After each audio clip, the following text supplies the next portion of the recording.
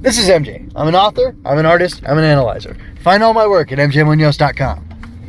Henshin Inspection presents Going Ultra. I'm wrapping up Ultraman Z. This is episode 24, the penultimate episode. It was originally aired on December 12th, 2020. It's called The Game to Extinction. The director is Kiyotaka Taguchi, and the writer is credited posthumously as Kota Fukihara. And I like this episode a lot. We get some interesting revelations about what exactly is going on. Celebro finally shows up, really speaks his mind, lets us know what he's doing, uh, where he's going, what his plans are, and basically his deal is that he uh, goes from planet to planet like locusts, using up their resources. Oh no, no, sorry, wrong, wrong, uh, wrong story.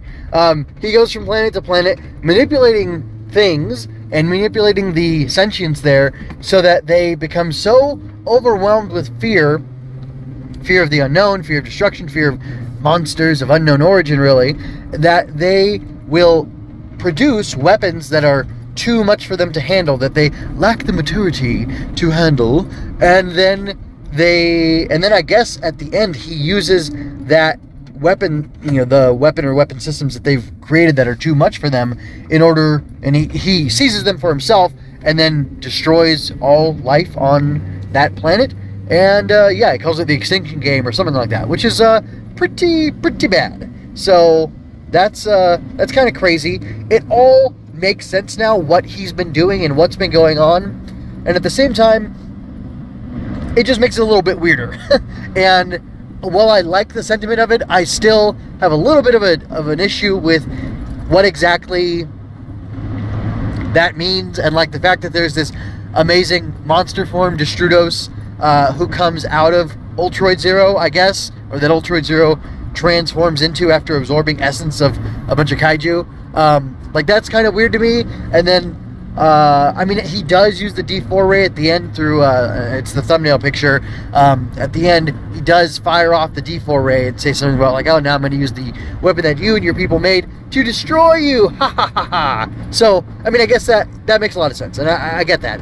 Um, but it's just, it's weird. Like, it's a very, to me, it's a very out of left field type of thing.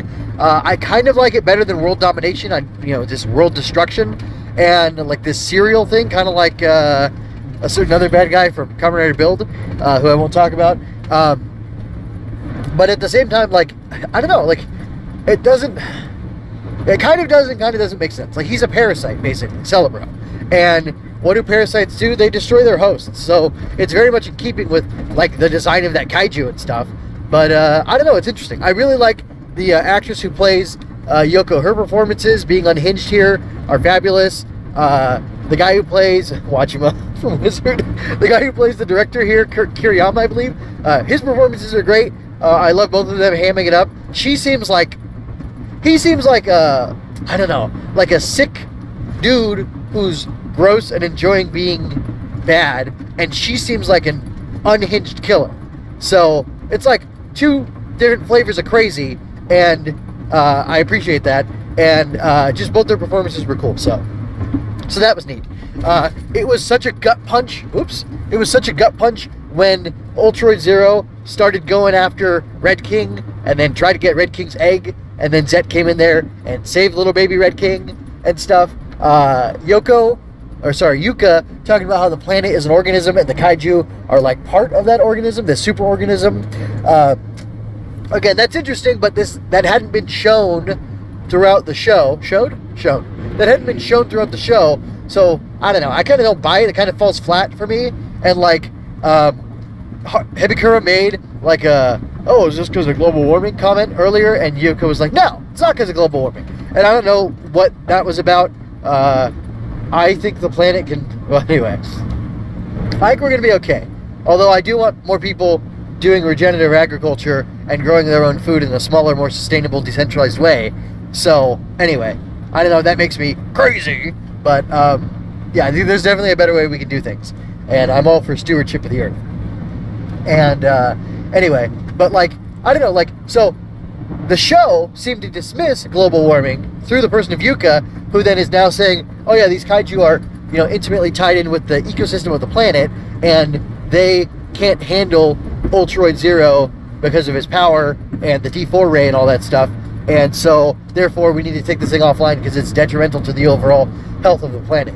So, I don't know. Like, that's kind of a contradictory message. Like, either don't mention uh, climate change or global warming at all, or uh, that way you're not like muddling things when you come to this man-made, so to speak, weapon. It's you know stolen Yapool technology instead. But regardless, um, you're like kind of running up against the same concept that like something about the progression of humanity's technology is causing deleterious effects that cannot be well that can only be counteracted by uh, abstinence or cessation of certain practices versus like creating new better technology or systems that will help make that work. Like if the d4 ray were the engine if the d4 thing like so, like all I noticed Ultroid Zero doesn't seem to have any battery packs or whatever. Is that because the D4 Ray? I don't know. They don't explain that, and uh, I believe yeah they they never show it as far as I know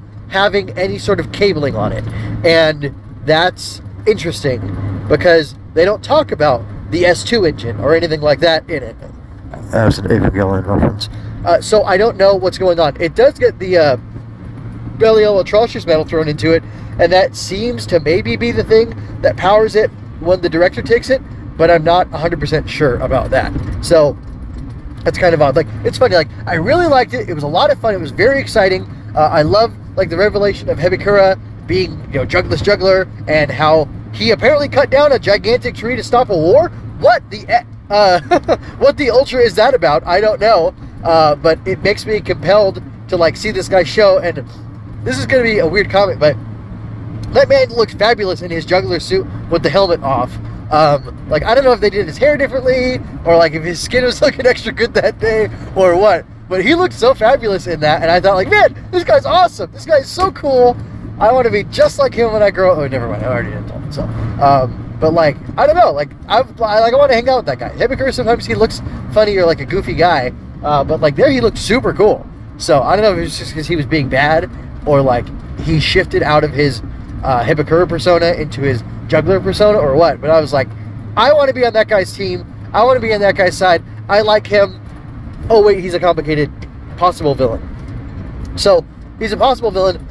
You know, Hebikura apparently, or Juggler, has been working towards this whole time, finding out what's going on and taking the opportunity where he can it wasn't that he planned on stealing an ultimate weapon from humans on Earth, and that's why he joined. Well, maybe that was why he joined Storage. Hey, humans are making these great weapons. If I can get my hands on one of these, then I can prove to whoever he's talking about from a previous show that you know we, whoever we are, what kind of class of people we are, we can do this. I have no idea what he's talking about, but I find it very compelling.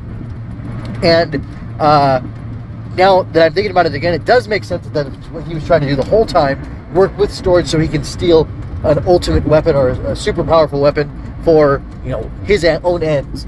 And when like now, it makes sense that he had uh, Ultraman hit the King Joe or whatever that was previously with the Zestium beam, so that the data could be collected, so that Ultroid Zero could be completed and the D4 uh, weapon system could be used successfully and safely by Ultroid Zero so it could be powered so that it would become the ultimate weapon so that he could then take it, which is super interesting. Again, super complicated, uh, very fun. Uh, another couple random fun things. I love Ultroid Zero crawling up out of the fourth gate, like up the fourth gate shaft and bursting out of there. That was super cool. And then the fact that he's rampaging all over the world to take stuff is uh, is pretty fabulous. So I really like that. Um, yeah, I got really strong Evangelion vibes. Like that was one of them. Uh, and I don't know what else to say. I don't know what else to say. Um, this episode was, uh, again, a lot of fun. Like, I, I love the peak drama. I love the fact that Yoko's trapped in there, that Haruki's like desperate to rescue her, but he can't, and all the drama that that's creating. I've already mentioned G Gundam once. I'll mention it again. I get a little of a little bit of a G Gundam vibe too, with the you know the girl being uh, trapped inside of this great monster that our hero's got to defeat in order to save her, which I know is like basically the princess in the castle held by the dragon or the Black Knight or, you know, whatever. But it also happened in G Gundam in an interesting way, and it feels slightly like that uh, here as well, which I think is, like I said, good and fun because I like G Gundam a lot. and I like everything that's going on here. So I'm sure I missed some big points. Uh, why don't you tell me what I missed and things I should have talked about that I didn't in the comments? Uh, and yeah, until next time, folks, take care. This is MJ signing out. I hope you enjoyed that. Go to mjmunoz.com to leave any questions, comments, or other feedback you might have. There you can find all of my analysis, art, and fiction. I cover books, tokusatsu, comic books, anime, and more. Look around, you're sure to find something else that you'll enjoy as well. This has been a Story Over Everything production.